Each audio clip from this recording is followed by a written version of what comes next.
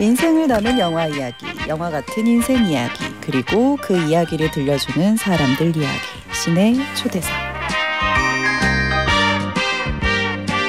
봄날을 만나는 한편의 낭만, 영화 낭만적 공장의 배우 심희섭 씨, 전혜진 씨, 어서 오세요. 네.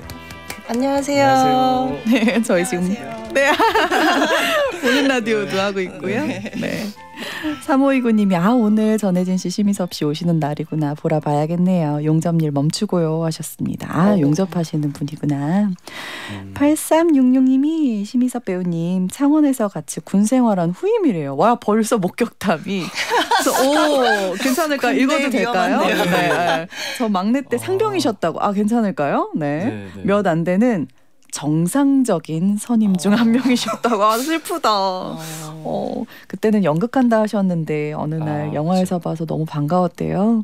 배우님 나오는 영화 드라마 잘 챙겨 본다고 항상 아. 응원하겠습니다 보내주셨어요. 아, 야 이거 찐이네요. 어, 미담이 그런 것 같아요. 몇 안 되는 정상적인 음. 선임이셨다고. 잘해주셨나 봐요. 어.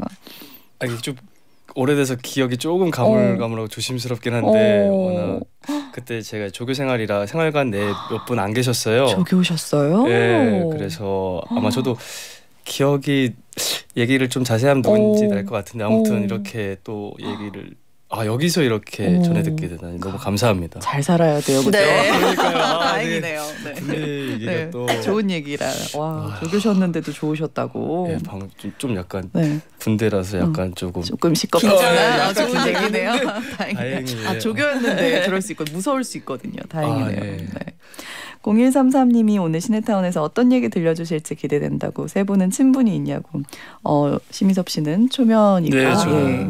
그리고 전혜진 씨는 네 학교 동문이에요. 네, 바로 밑에 후배였는데 선배님. 아유, 아유 후배님 아유 뭐 선배가 아니죠 뭐 연기로 따지면 훨씬 선배님이신데 그래서 되게 저희가 긴장을 했었어요 이렇게 아, 아, 후배긴 한데 나이는 어린데 너무 연기를 오래 한 아, 선배님이시니까? 아. 저희가 되게 긴장했었는데 되게 착하고 일도 너무 잘하고. 예쁘고 그래서 저희가 결혼을 일찍 하셨잖아요 아, 그때. 다들 막 욕을 했어요. 아니 왜 저 예쁜 사람을 데리고 가나 빨리 아깝다 막 이랬는데 지금은 많이 아, 더 부러워할 것 같아요. 네. 너무 잘 살고 잘 살고 음. 있고 또 연기도 그렇죠. 아 너무 잘 보고 있거든요. 학교 생활할 때 박하선 선배님의 그 네. 순수하고 되게 아름다우셨는데 예, 잘못 그때 봤네, 기억이 나를. 아직도 새록새록하고. 하나도 안 변하셨어요. 아유 아유 무슨 소리야. 아유 아 그래서 네. 마더나 아, 그런 거 볼 때마다 너무 반가웠어요. 아. 너무 보고 싶었거든요. 잘 살고. 있나 막 보고 있었습니다. 학교 계단부터 봤었다고요. 팬이었다고요. 아, 네, 정말 옛날 영화인데 네네. 감사합니다. 아유. 9214님이 저희 엄마는 지금도 혜진 씨가 TV에 나오면 어머머 우리 은실이가 언제 저렇게 다 커서 기특해라 하신다고 아, 많은 분들이 그런 마음일 것 같아요. 네. 아 근데 또 최근에 나의 해방일지 대행사를 또 재밌게 본 분들이 많죠. 음. 와 이런 얘기 종종 들을 것 같아요 어른분들한테는. 음, 맞아요. 근데 사실 어 제가 뭐 꾸준히 활동을 했다기보다 공백도 좀 있었어서 음. 아마 해방일지에 처음에 이제 나왔을 때는 많은 분들이 어 저 배우 누구지 좀 익숙한 어. 것 같기도 한데라고 생각을 하셨던 것 같아요. 근데 이제 관심이 있으신 분들은 찾아보시고 음. 네, 신기해 하시죠. 음. 네. 근데 잘 이렇게 매치를 이렇게 딱 정확하게 아 그때 그 친구 이렇게는 네, 잘 못하시는 분들도 음. 많으신 것 같고 근데 왜 저렇게 잘하나 싶겠죠. 그러고 프로필을 뒤져보면 아유. 아유, 놀라시겠죠. 정말 대선배님이십니다. 아 또 나의 해방일지에서도 그렇고 얼마 전에 대행사도 난리가 났었잖아요. 음. 아유. 아, 너무 기뻤어요. 너무 좋고. 아유. 왜냐면 정말 학교 다닐 때 일을 정말 잘했거든요. 같이 스태프 일을 하면 너무 편한 거예요. 너무 언니같이 일을 아. 너무 잘하니까 아 막 걱정할 게 없는 거예요. 아니 저 친구는 연기도 잘하는데 일도 잘하고 보통 이렇게 연예인분들 들어오면 저도 뭐 연예인 활동을 하긴 했지만 이렇게 열심히 하기가 쉽지 않거든요. 바쁜데 아. 너무 열심히 잘했었어요. 음. 네. 더 열심히 할 걸 그랬나 봐요. 아유 아유 충분했습니다. 네. 여기서 우리 전혜진 씨의 신청곡 듣고 2부에 본격적으로 영화 아 어. 낭만적 공장 이야기 이어갈게요. 어떤 노래죠? 어, 이 노래는 제가 사실 계절이 바뀔 때마다 좀 저도 모르게 찾아 듣게 되는 어. 음악이고요. 그리고 뭐 제 나름의 개인적인 생각으로는 저희 영화랑도 안 어울리진 않는 것 같아서 솔직하다. 네. 네. 네, 그래서 그냥 좋아해서. 네, 향수를 불러 일으키는 아, 좋죠, 네. 좋죠. 그런 노래들. 네, 우리 이 곡 듣고 우리 2부에서 다시 만나요.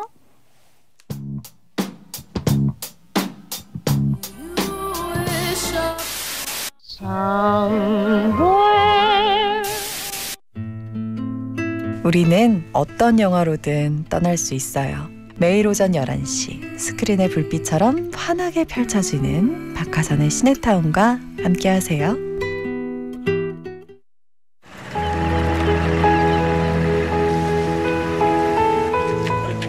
뭐예요?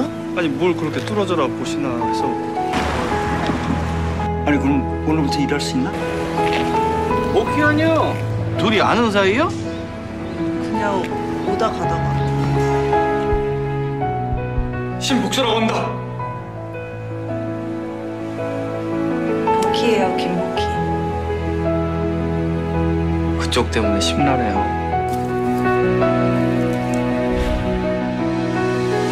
이 심장으로 되는 게 별로 없어요 내가 어떻게 해야 나 좋아해 주나요?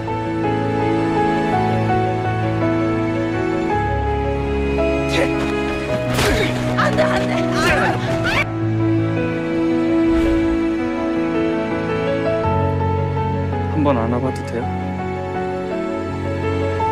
무슨 생각해요? 내가 과거 속에 살았구나 얼마 되지도 않는 추억 가지고 버티고 있었구나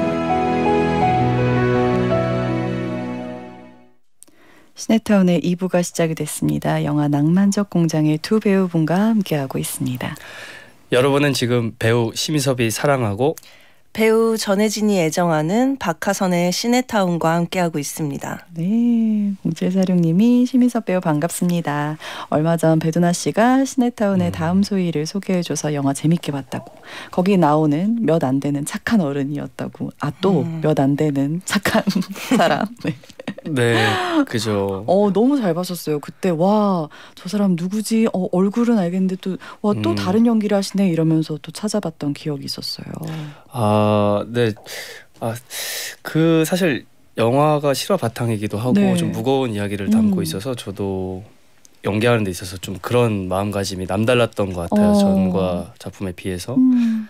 그리고 음. 감독님과 얘기 나누면서도 그 다음 소리라는 또 인물에 대해 그러니까 그런 일을 뿐만 아니라 네. 계속 겪어갈 어떤 음. 사람들에 대한 음. 것도 얘기를 나누다 보니까 어 앞으로 펼, 앞으로 또 어떤 아픈 일들이 벌어질지 생각하면 이건 정말 무거운 얘기다 어. 이런 것까지 겹쳐져서 음. 또 저도 영화를 봤는데 그런 진심들이 정말 음. 잘 담긴 영화고 음. 그렇게 많이들 봐주셔서 정말 뜻깊은 작품으로 생각하고 있습니다. 네. 아, 그때 되게 나쁜 사람인가 착한 사람인가 막 이렇게 보다가 되게 음. 복합적인 캐릭터라 음. 정말 너무 잘 봤었습니다. 음, 감사합니다. 네. 2143님이 두 분 시네타운 놀러 오신다길래 영화 포스터를 검색해 봤는데 포스터가 참 낭만적이네요 하셨어요.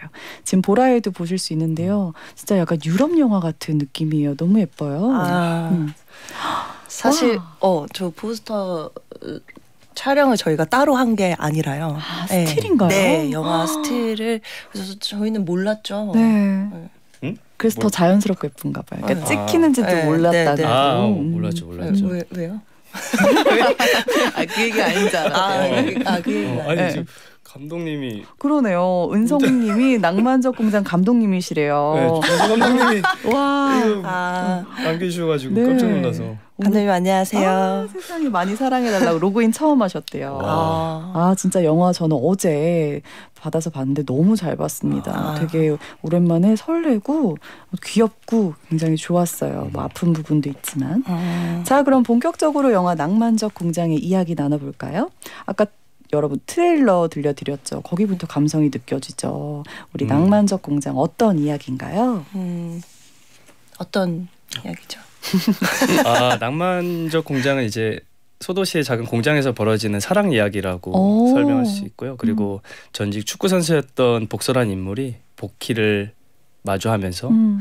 이제 아팠던 과거의 상처를 치유받고 음. 그리고 자신의 미래를 사랑으로 이렇게 희망차게 어, 살아갈 그런 희망을 품게 해주는 여자를 만난 이야기고 그리고 음. 주변에서 공장 사람들 뭐 소박하지만 삶의 삶을 그렇게 희망스럽게 좀 보여줄 수 있는 그런 음. 영화라고 생각합니다. 음, 네. 다양한 직업들을 또 볼 수 있어서 되게 좋았던 영화였던 음. 것 같습니다. 네. 네. 어, 저희 시네타운에서는 서로의 역할을 바꿔서 설명을 하고 있거든요. 네. 우리 혜진 씨가 심희섭 씨가 연기한 복서 한번 소개를 해주세요. 음, 복서는 어 축구 선수였다가 음. 이제 사고로 어 심장을 다치게 돼요. 음. 그래서 음. 그런 아픔이 있는 캐릭터고 그래서 되게 음, 우울하게 어떻게 보면 좀 하루하루를 좀 무기력하게 살아가다가 이제 우연히 보키를 만나게 되면서 굉장히 순수함 어린아이 같은 순수한 매력을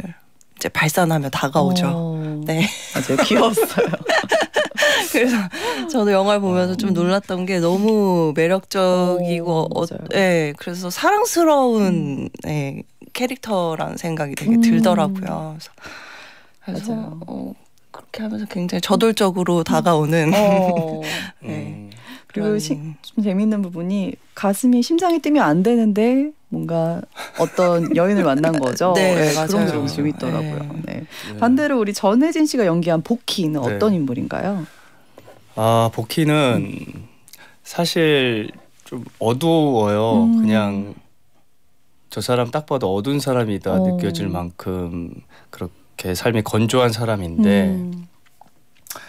근데 자꾸 보고 있으면 자꾸 다가가게 만들고 싶고 어루만져주고 싶은 사람 같아요. 음. 왜이 사람이 이렇게 됐을까 어, 생각하게 만들고 또 살짝 그 과정을 넘어서면 이 사람이 가지고 있는 순수함 그리고 사람에 대한 진심 음. 이런 걸 느낄 수 있는 사람이라고 생각해요. 그래서 복서가 복희한 테 그런 면을 보고 음. 다가갈 수 있었고 사랑할 수 있었지 않나 싶습니다. 음, 복서 복희 이름도 참 예쁘죠. 조은성 감독님이 혜진 씨의 꾸민 듯 꾸미지 않은 모습이 복희 같아서 캐스팅하셨다고 했습니다. 음. 0011님도 혜진 씨의 이런 자연스러운 매력 너무 기분이 웃어요? 좋다고 왜 이렇게 보내주셨는데 공감을 못 하시는 아, 거죠? 어떤 왜왜 웃으시는 거죠? 아니 아니 그렇게 아니 공감하세요? 그냥 안고 안고 안고. 아, 다 정말 그렇구나. 네. 음, 아, 털털하게. 워낙 좀 인위적인 거를 음. 안 좋아하는 음. 성향이 좀 있는 것 어. 같아요. 그리고 사실 저희 이번 영화가 좀 특별하다고 느낀 네. 게 되게 연기 같지 않게 표현을 하고 싶었어요. 그래서 어. 굉장히 그냥 제 안에 있는 굉장히 시니컬한 모습들을 어, 꺼내서 연기를 했던 음. 거가 전 처음 경험하는 어. 거거든요. 사실 이렇게 왜 작품을 들어갈 때마다 그 역할에 맞게끔 음. 이제 네 성격도 네, 개조하고 네, 이러는데 네. 그래서 왜 자꾸 아니 웃으시는 근데 이제 혜진 씨랑 네. 같이 추- 출연했던 수영 박수영 선배님께서는 네네. 다른 분들도 그렇고 연기를 굉장히 자연스럽게 말씀하신 것처럼 음. 진심으로 네, 했는데 네. 제가 좀 과하게 아니요, 아니요, 이게 더 아니요. 재밌는 네. 네, 네. 시니컬한데. 되게 네. 막 귀엽고. 그러니까 저희 영화는 있고. 좀 저는 어. 특별하다고 할 수 있는 점은 음. 좀 각자의 우울감이 다 있어요. 어. 역할들이 사연도 있고, 무게가 있죠. 네 무게를 안고 음. 살아가는데 굉장히 무겁게 풀리지 않았고, 어, 맞아요. 예, 중간 중간 계속 웃음의 요소가 음. 있어요. 그걸 되게. 담당하고 계시죠. 네, 또. 네. 재밌었어요. 네, 그래서 좀 음. 예, 재미있게 재미있게 풀어가는 부분들도 가지고 있어서 좀 그게 음. 되게 매력인 것 같아요. 맞아요. 너무 음. 좋았습니다. 감독님이 또 심희섭 배우에 대해서는 연약하면서도 내면에 지닌 무언가가 겉으로 드러나는 얼굴이다라고 음. 얘기해 주셨고 1183님도 아 참 무해하다라고 보내주셨습니다. 어, 무해하다. 너무 영화를 보면서도 궁금했어요. 되게 약간 박해 일 씨의 어. 약간 연애의 목적대의 박해일 씨를 네. 보는 느낌 되게 귀엽고 음. 뭔가 설레게 하고 뭔가 되게 매력 있는 캐릭터인데 실제가 어떨지 그래서 궁금했어요. 원래 음. 저분의 성격인지 이 연기 톤이 음. 연기 톤이 되게 재밌거든요. 맞아요. 응. 그 혜진 씨가 혜진 씨가 얘기를 해줘야 네, 될것 같아요, 어, 그죠? 네, 어, 원래 좀 꾸밈이 없고 아. 네 가식이 없어요. 그러니까 두분 네. 다 오늘 우리 보라도 하는데 이렇게 네. 되게 이렇게 예. 내추럴하게 오셔서 너무 저희가 좋았어요. 그런 컨셉으로 아. 네 좋네요, 좋아요. 작지만 소중한 네. 느낌으로 아 그것도 컨셉으로 아 좋네요. 근데 되게 자연스럽고 그래서 더 편안하게 아 뭔가를 내가 안 해도 되겠구나 이런 생각을 자연스럽게 했던 것 같고 음. 되게 편안했어요. 음. 그래서 좀 호흡이 좀 저는 잘 맞았는데 어떻게 음. 어, 괜찮으셨나요? 저도 진짜 좋았어요. 어. 이제 영화 보시면 아시겠지만 혜진 씨가 연기한 장면들은 음. 그게 연기라고 아, 그러니까 정말 배우분들이 정말 맞아요. 찐으로 나오는 모습들이 중간 중간. 있잖아요. 음. 웃음이라든지 아니면 그런 정말 그 본능적으로 이제 반응하는 진짜 웃는 것 같은 네, 느낌이고. 예. 그런 걸 저도 음. 바로 느껴지니까 음. 거기서 나오는 자연스러움이 음. 이제 영, 영화에 담겼고 그게 반복되면서 영화 현장에서 호흡이 저는 음. 너무 좋았어요. 그래서 음. 이 영화가 어, 과정이 참 아름다웠던 영화라고 어. 정말 기억에 누구한테나 다 그렇게 얘기를 음. 하거든요. 그래서 사실 좀 감사하죠. 왜냐면 쉽, 음. 쉽지 않은 것 같아요. 배우로서 음. 현장에서 그렇게 자기를 본연이 드러내놓기가 근데 음. 너무 그냥 타고 나신 것 같아요. 아유 뭐 이렇게 칭찬을 네. 여러분 이제 분위기가 느껴지시죠? 이게 영화에 담겼습니다. 꼭 보시길 아, 이렇게 네, 기분 좋은 진짜입니다. 네 음. 그런 느낌이 담겨 있더라고요. 여기서 심희섭 씨의 신청곡 하나 들어볼게요. 어떤 네. 곡이죠? 아 페이스의 너와 함께라면이라는 노래인데요. 네. 이제 슬램덩크 OST로 알고 있고요. 얼마 전에 이제 또 다른 버전으로 개봉을 했는데 네네. 겹쳐서 복 서가 복희한테 불러줄 수 있지 않은 좀 음, 어, 그런 무겁지 느낌으로. 않은 약간 아. 그런 노래지 않을까 싶어서 겸사겸사 골라봤습니다. 네, 우리 네. 이곡 함께 들어보고 다시 만나요.